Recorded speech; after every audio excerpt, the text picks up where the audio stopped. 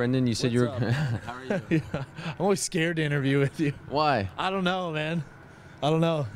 You're a bigger guy than me, so you shouldn't be uh, afraid. But l- let me ask you: You said you were going to knock him out. Uh, obviously, it came a lot longer than you probably expected. Yeah. Was the fight tougher than you thought?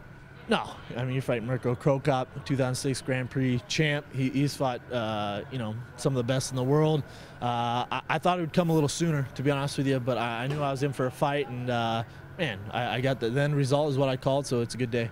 Talk about the finish. It looked like uh, obviously you rocked him, but he rocked himself when he fell on the mat. Did you notice that? I mean, he was out, out, man. He, he was rocked, and he, he took one shot, which uh, he really didn't need to take. But you know, Her, Herb's uh, uh, couldn't get in there fast enough. Were you happy with your performance overall? No, no, very disappointed. Uh, Why?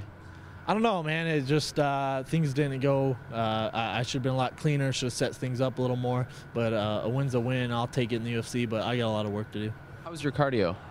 Cardio was good. Uh, you know, I, in, in the clinch, I let him control me in the clinch. That annoys the crap out of me. Um, you know, I, I, expect to go in there and dominate no matter who it is. So it, it's not a great night for me, but the victory was good.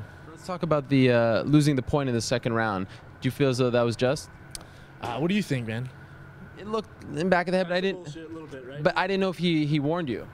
Did he warn you? Was he talking to you? Yeah, right away said this is a strong warning. So I don't know if that's a warning. No, just kidding. Uh, yeah, he said this is a strong warning.